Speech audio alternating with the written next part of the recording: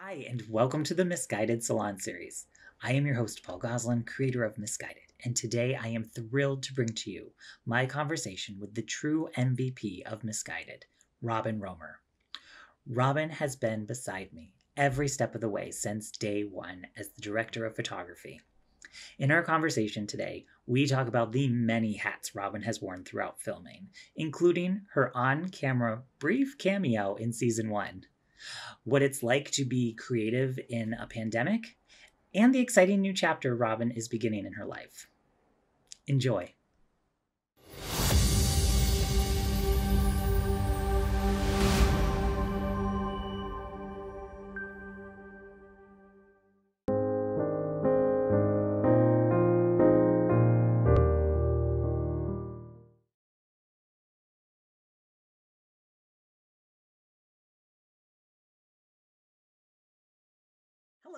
Robin.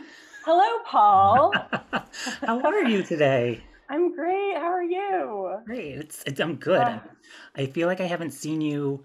I mean, I haven't seen you in person in forever, but I, I think the last time we really had like a small face to face, uh, you were helping me during a Muppets and Puppets week Oh, yeah, with yeah. Oliver. So funny that you said that. I remember that. It was in May. I was so depressed that week. oh And I was like, it was really good though, because I was like, oh, the Muppet, the puppets thing, you know, and I was like, really like going through this really tough week. And I just like jumped into the puppet thing and it somehow like pulled me out of that. I don't know. It was good. It was good for me too. Oh, good, good. Muppets seem to do that. I mean, anytime I'm sort of in this depressed mood, like I can put on any Yeah. Muppet movie and it's just like, okay. Oh, yeah, for sure. Uh, I've been watching. I've been watching the the reruns of the Muppet Show that just came out. Oh, I haven't, yeah. It's like it's like excellent medicine for my soul. Yeah. Um, but anyway, I I miss the baby Muppets. What were it? the Muppet what were they Babies. Muppet. Oh, the Muppet Babies. baby Muppets. I'm like, what was that show called?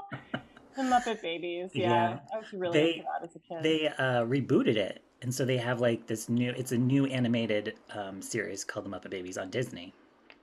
Oh, I didn't know that. There's a few new characters too, and I was like, I don't know any of these people, but Oh, Nanny's still there, and is she still just legs? I think she is still just legs. Good. Okay, great. Uh, well, this is now going to be a Muppet podcast, so I hope okay, that's okay with everyone. I'm I'm ready. um, why don't we start at the be- at the beginning? So let's uh, Sure. chat about our origin story. How did do you remember how we first met and came to be?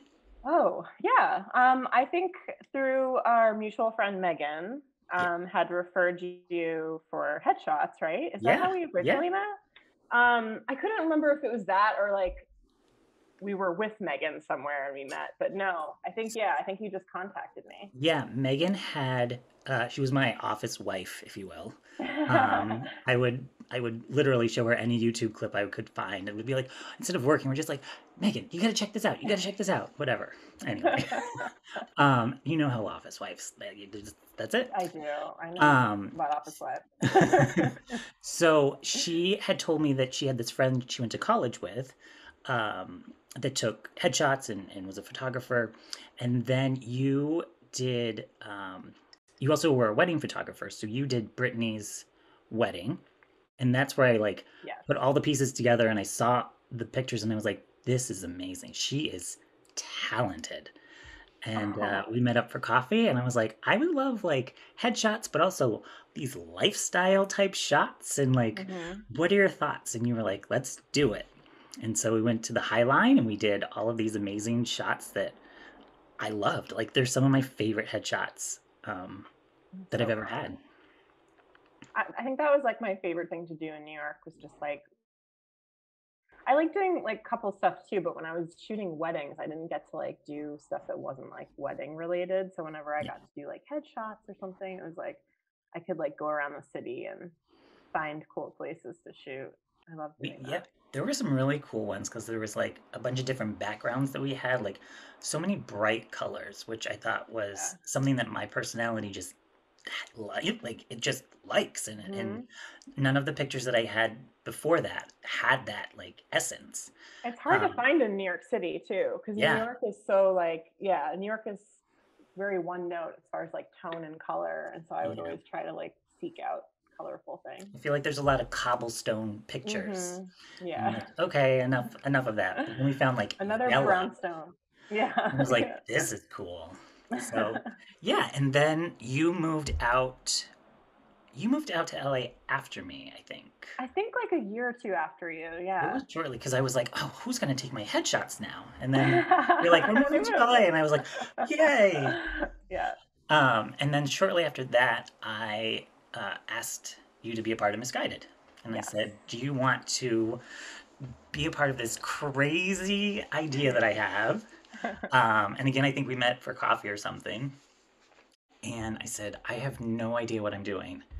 And you have been like a trooper and like helped guide me uh, in this misguided journey. I love that.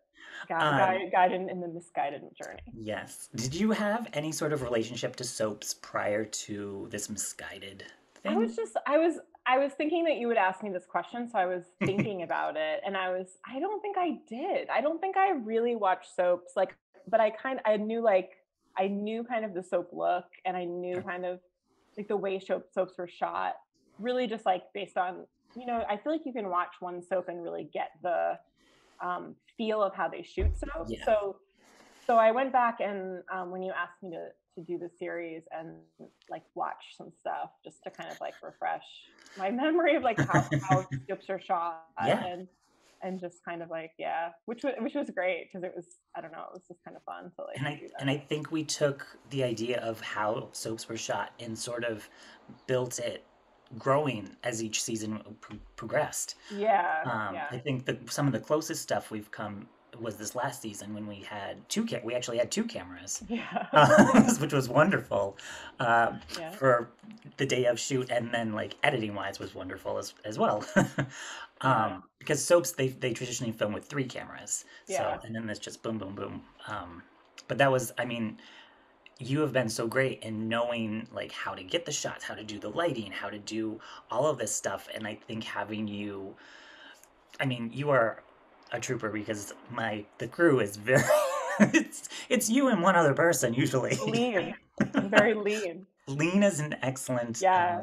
uh, yes that's I it mean, I shot a feature like where I was the only crew member, so I was kind of like, okay, I could do this. Yeah. Like, i mean yeah, it's kind of unheard of to have two people on the crew, Yeah. or one. although let me tell you like as i know it's a lot it's a lot of work and it's very like you know there's a lot going on but time wise like it's just if you're just making the decision like it's just you and i and maybe one other person and we're just we're just doing it so instead of having like this full crew that you know we have to do everything with everyone and get everyone like whatever there's less pieces to move like metaphorically i guess.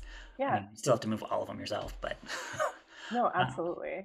but yeah that's um i i mean i know i don't know how you feel but i i like having a lean crew but i know like having more people would be you know helpful as well. I do. I feel like it satisfies my control issues. Because I can have control over like my job, and I don't have to like rely on other people, and I have trouble doing that and delegating and absolutely and it not getting frustrated with people not doing what I want them to do. So I, I mean, obviously it's something I'm working on, but I, I always felt like that. And just as a photographer, you usually just have like one or two assistants, and they're just doing what you want them to do. So yeah it's, yeah, it's, it's pretty ideal for me. yeah and i feel like i have i've i mean we've worked enough now that like i just trust like you can set up a shot and i just know that it's going to be the look that i want that because you know what you're doing. And i'm just like yes like i think there's been like a handful of times i'm just like can i see what it looks like? And i and more or less just for me as a, the actor to know like where where i can act in like that space. But i mean you've been phenomenal. Thank this is this is just me praising you all day. I hope- know, i I hope that's it. okay. Really fun. a nice a nice ego boost on a, on a sunday Thank you. It was, it's really, it's been like a really, really fun project, and you're great to work with. So it's been, it's Thank you. been like I likewise. I think you are a joy. Um, and we've gotten to do some weird, fun things with it. Uh, Yeah. we did. I don't know if you remember. Um, we I think it was after the first season. I ended up winning tickets to the daytime Emmys. Oh yeah, I remember. Yeah. Okay, so this is this is going to be like a a question at the end, but like there's a long way to get there. Um, but I like I've had these these uh, conversations and I've talked about like the universe like is a big picture like idea and and believing in signs and things that are meant to be and things like that. And I think um, that was a really good moment for me to see like yeah things are progressing nicely. Like you've just won these tickets. I invited you to go with me. We got dressed up. We went to the wb lot. We got vacuum cleaners um we did. uh, but one of the like the weird coincidences that happened, I don't know if you remember this, but there was someone that wore your dress, the dress you were wearing. oh right. One of the winners, she was. I had to look it up because I couldn't remember who it was. Um, but I'm gonna put up the side by side pictures so that you can see. Or are we doing Uh, a who wore it better? Uh, well, you obviously, obviously sorry, but it was a. I think she was a director from The Bold and Beautiful. She had won, and you like looked at it and were like, Oh, yeah. "She's wearing my dress." Mm-hmm. Mm-hmm. it was just one of those moments that like the universe sort of confirmed you know we're all just in the right place at the right time i think and so now the question uh, have you had those moments or have you had one particular moment that stands out so well that um, the universe was like yes you're you're going in the right path you're doing the right right thing I mean, so so many. I I'm not. I'm probably not going to even be able to think of an example now. But I, I a thousand percent believe in synchronicity. okay I think that yeah, I think that I- and I it's weird. It's like I don't I'm not one of those people that's like the universe brought me this person or whatever, but weirdly I believe in synchronicity because I think that there's um and now I'm getting like a tiny bit philosophical or like psychological. oh But I some of these believe- some of these i do so it's okay It's Oh, good, okay. I do think that all people are connected, and I think that there's sort of an underlying like collective unconsciousness. And Mhm. so I think I believe in things like when you're thinking about a person, like they can sense it. Because I've had that happen where I'm thinking about someone and they'll text me or call me and be like, "I was just thinking about you," and I'm like, "Yeah, same." Yep. Like that's that's like a thing. Um, but yeah, I'm trying to think of a. Um, yeah, you know, I I guess the best example I have from recently that I can remember is um pertains to like the direction like the, I'm, I went back to school okay for psychology. Um, I'm getting my master's, um, and uh, I'm sort of exploring the idea of, of becoming a therapist. And I guess the this weird thing happened where I was talking to my therapist back in um, February, and I had just started thinking about this idea. Um, and I think it was like actually in April or something when I was talking to her about this for the first time.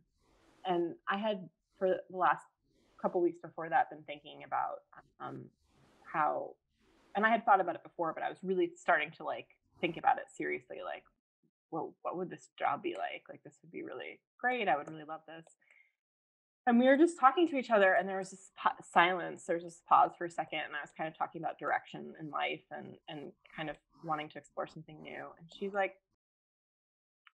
i feel like you would be a great therapist okay. and it was so weird and it was sort of like um i think i needed to hear that from a therapist in a weird way. Like i just was like oh that's like it was super validating. And then it was also just sort of like the time like i just felt almost like weirdly yeah i felt weirdly um uh not embarrassed but just sort of like uh shy about the idea of, of bringing it up okay. to her. And so she just sort of brought it up on her own. And yeah stuff like that i feel like happens for a reason or just happens because like there's some sort of connection connectivity going on yeah yeah I mean, I I 100% agree. yeah but that's awesome. I I um I know we haven't really spoken about like this career path, and I've I've just seen bits and pieces on your um, Yeah. Instagram uh, page. But I I was actually looking at it earlier today just to sort of um, not not just put pieces together, but sort of just see like the year because it's been Yeah. It's been a year. Yeah, Uh, been a year. but there was there was a post you did recently, and I I don't know if this is a lesson that you learned just because it happened um, in 2020. Uh, but you you wrote that I, I as a reminder to yourself that I am not my work, Mm, mhm. and it I mean as an actor er, you know that I it sort of like really speaks to me like this is this is just you know I am not my work I have there's so much more and learning in in 2020 that I am more than all of these other things and it's been it's been a year um so what is that so is that would you consider that one of your biggest lessons that you've learned about yourself in 2020 Yeah, um, yeah, I think so. I think as I get older, I get more comfortable with the idea of just um, like being Robin yeah. and being myself and not being um, tied to a certain aspect of my personality or a certain aspect of um, of life and knowing that just sort of changing and uncertainty and all this stuff is really super normal and we're kind of always evolving and that doesn't mean that we're losing anything or like we're not you know it just it it's a it's an idea that i feel like it took me a really long time to to like accept. And definitely yeah the pandemic was tough because i was just like not working and even when people would reach out to me i wasn't comfortable working so i wasn't comfortable on sets um, especially in the beginning. Yeah. Um, and so it was just sort of like uh, yeah just this acceptance of like you know this isn't where my worth lies you know this isn't um, this doesn't you know say anything about who i am or even even my talent yeah right and that's like something that's I feel like especially in this town, right? Like everyone's measured, everyone's sort of like yes there's contests and there's yes award shows and everything is measured and it's um it's it's hard it's a hard thing to remember. yeah Yeah. Okay, so we, I mean, I feel like we've gotten really heavy for a little bit, so I want to Oh sort of yeah. light, lighten, Of lighten, course. lighten this up. Um, but speaking of the pandemic and working in the pandemic, I think this was this was pretty early on in our, you know, safer at home uh, chapter. You and Carly got to work this Entertainment Weekly cover with the All Stars for Drag Race, yes. and Yes. it oh, it was called like a virtual cover, correct? Is that the term? Yeah, yeah, Okay. it was yeah. mhm, So I was curious how that came about, and could you describe like what it was like to to do this, what I it looked like an amazing uh, concept and project.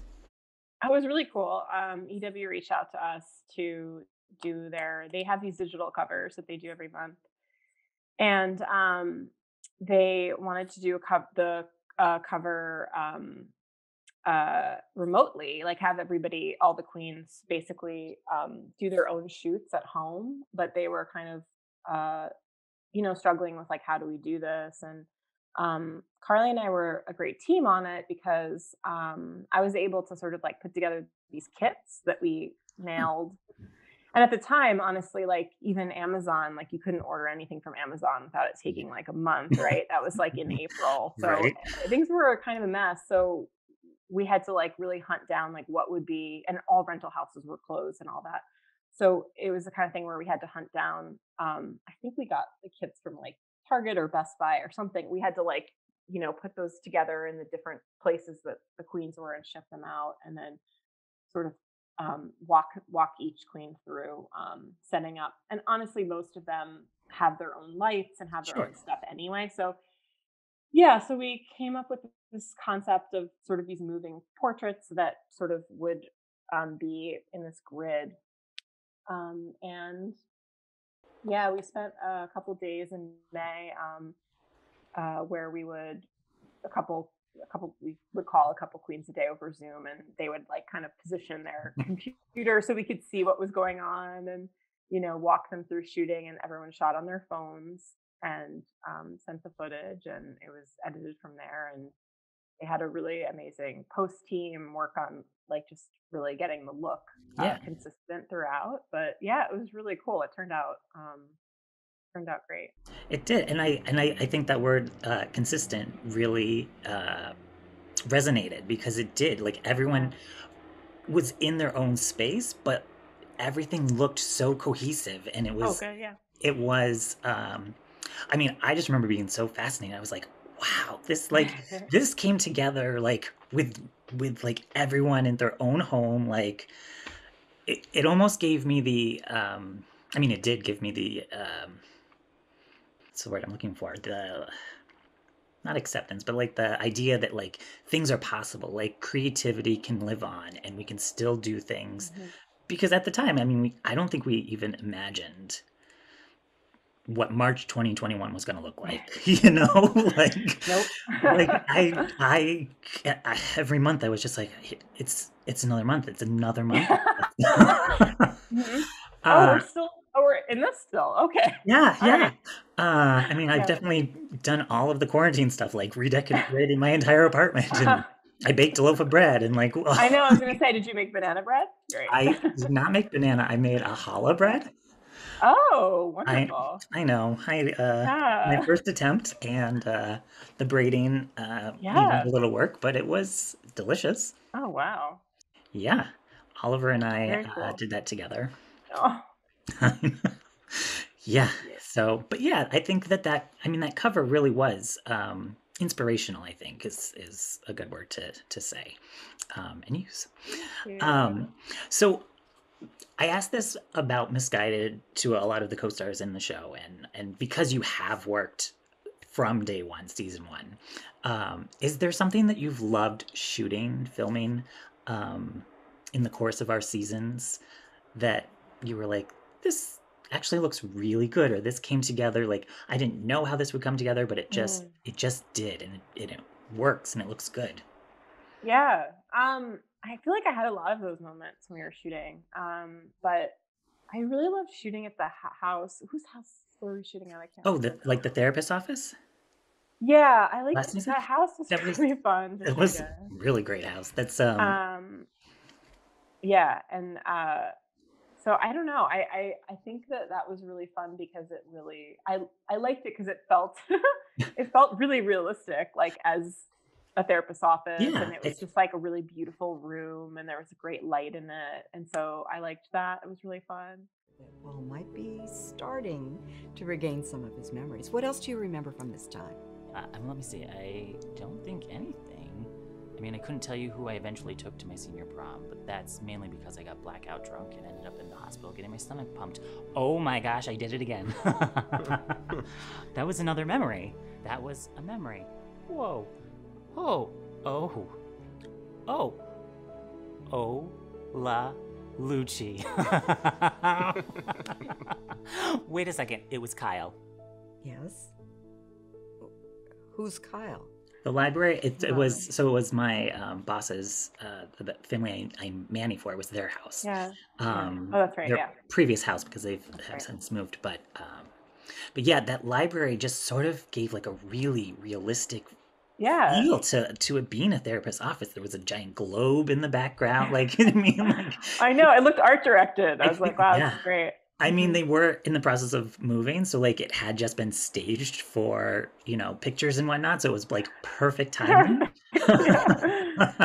Um, and I think I think that it just gave that nice like we could do like different shots in it too. The I think the only thing I really wish we had um, utilized was the fireplace in it. I don't know if I, I mean we Oh. could have had. Um, I think we had talked about like when she rips the Mm. picture or something, throwing it in the fire. But whatever, oh you know, man just to have it a little more dramatic. But I think it was. yeah I think it was great as it is.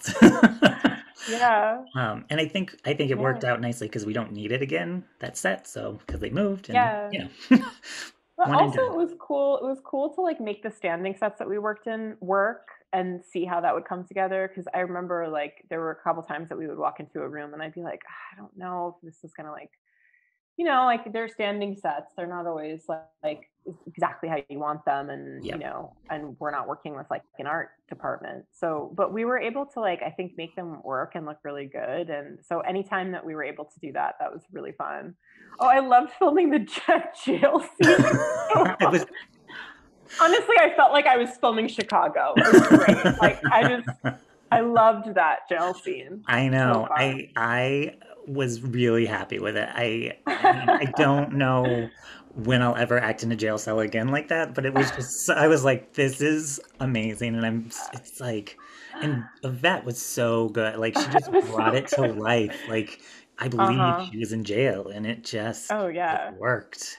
And then to have a Oh, death in the jail scene, I mean, Uh huh. The death scene was really unbelievable. There was like so much the choking scene where she just oh, I know. And So the dramatic. the uh the door, like the door to the cell wasn't actually locked, so it like moved a bunch of times. I'm That's like, great. Forgot about that.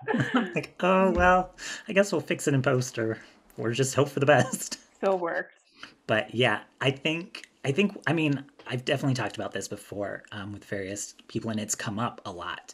But I think um, for me, the wedding, uh, that whole episode, like the Oh, yeah. whole shots of everything, it came together so nicely, and I will we'll probably talk about that forever about how wonderful it was. And I think it's largely due to you, to you and Selena, who helped um, put that all together. And I, I think having you be a wedding photographer was was a secret asset that we could utilize.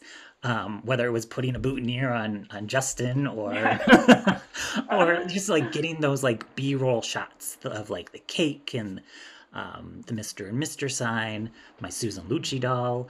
Show of hands, who's excited to get married today? You look great. You really do. Let's get you married. All right, let's do this.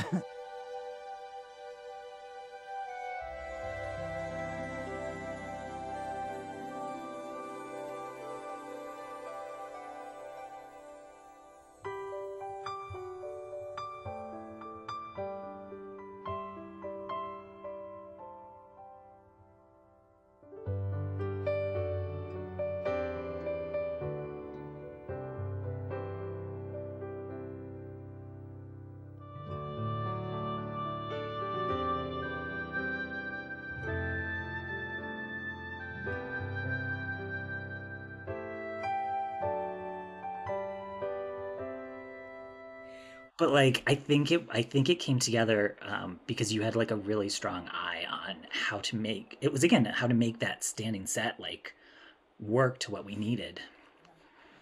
Yeah, I did utilize some wedding knowledge there. That was fun. like, oh, how would how would we make this into a wedding? Yeah, I remember when you showed me the script and there was a wedding scene in it. I was like, oh, I was like, let's be realistic. but we made it work. It was We- great. I mean, yeah. we did, and and I know, I and we, I think we learned a lot, you know, as a team, like what we would do in the future if that was the case, and maybe splitting it up into two days and not doing a full day, you know. But I mean, we we did. I I think we did 18 pages that day Yeah. between yeah. between between the between the wedding and then the, all of the other scenes that happened within the restaurant. Like Mhm, 18 pages in like an eight hour day. mhm. Um, impressive. I mean. Yeah, I Nicely think it done, Robin. was. I Nicely think- done. You too. I, yeah, I think it's sort of like it's interesting, like to be able to like when you're presented with a challenge of working, being creative within certain bounds or certain like limitations. Like, um, it's always interesting, like what uh, if you're able to just like be flexible and like be like keep keep it sort of positive and just put keep pushing through. Like, it's pretty unbelievable what you can just you in general. I'm saying the general you what people can accomplish like if you really like are like you know what we're gonna do this yeah. I mean, I think I think a part of it um, goes back to us being such a small crew too. Like it definitely Yeah. helped that we could just like make a quick decision. We didn't have to confer with like a bunch of different people. Um, that it just we could just do it and set up a shot. Do it, set up a shot.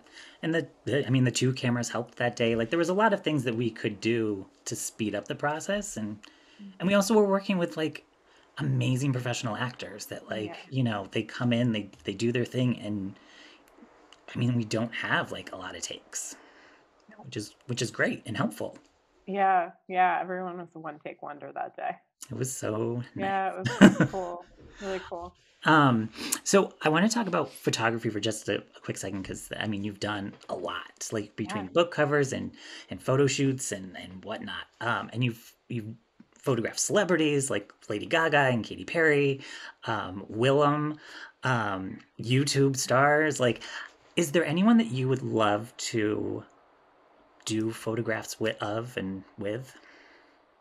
I guess I don't Oh, know if gosh. that's two different questions, but just like, is there someone that you're like, I just I think that they're like stunning enough that I could just like take some really gorgeous shots of them. Yeah. Just curious. Just curious. I mean, so like selfishly, like I have I have like a celebrity. Um, I ha- I'm I'm like a pretty obsessed with Chrissy Teigen as a celebrity. Okay. I'm not like um, and I think she's beautiful, and I think she's so fun, and like I just am like, I don't I don't I'm not like a person that cares that much about celebrities like Mhm. in like in general, but I love her so much. So I guess I would probably pick her because she's just so much fun, and I just Yeah. feel like um, pers- it's like all about personality for me. Like I just yeah, and she's beautiful. So that would be, I guess, I guess, yeah. And I, I've said that before. I remember when I used to have a Twitter, I'd be like, "Does anyone know Chrissy Teigen?" I wanna say Chrissy Teigen. yeah, no, I think Great. that I think she would be a wonderful, you know, person to work with alongside and just. and I've taken pictures of John Legend. So I know. Oh, I mean, you're almost there. there. You're, you're practically, yeah, you're practically at their dinner table already. Right? And we're practically friends. um, I'm thinking. I'm just looking over. I think we might have um, done all these questions that I had already that I had prepped for. Wow. Um, we just sped right through this. Whoa. Um, but I wanted to just like I, I wrote these all down just because I was like, I can't believe I feel like I have to say out loud what an MVP of Misguided you are. Because not only like director of photography, you've done you do the lighting, you've done sound, production de- design, you've uh, you even stepped in as a background player in season one.